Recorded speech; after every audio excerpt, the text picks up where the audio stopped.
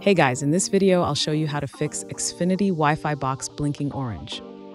All right, let's begin. First of all, let's understand what these blinking lights generally mean. The green light usually indicates that the modem is trying to establish a connection with the internet, while the orange light often signifies that there's an issue with the connection. Here are the most common causes. First, service outage. Second, connection issues. Third, modem malfunction. Lastly, firmware update. Sometimes the modem blinks during firmware updates. Now, step one is to check for a service outage in your area. You can do this by visiting the Xfinity website or using the Xfinity app on your phone.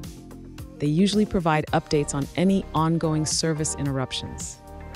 If there's an outage, all you can do is wait until the service is restored. If not, let's move on to the next step.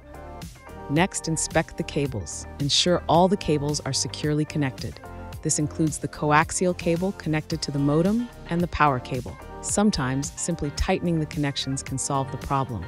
Also, check for any visible damage to the cables. If you find any, you might need to replace them. After that, power cycle the modem. This is a fancy term for turning it off and on again. Simply unplug the power cable from the modem, wait for about 30 seconds, and then plug it back in. Wait a few minutes for the modem to fully restart and check if the lights stop blinking. Finally, if power cycling doesn't work, you might need to reset the modem.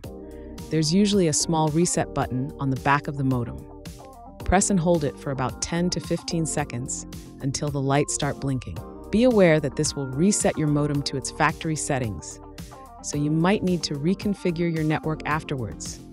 Now, if none of these steps work, it's time to contact Xfinity support. They can run remote diagnostics and may send a technician if necessary. You can reach Xfinity support through their website, app, or by calling their customer service number. So that's basically how you can fix Xfinity Wi-Fi box blinking orange. And that's it for this video.